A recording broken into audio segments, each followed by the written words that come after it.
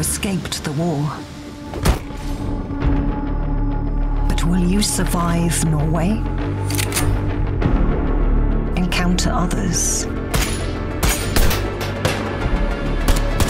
But remember, the Outlands are dangerous. It's in your hands. Outlive the apocalypse.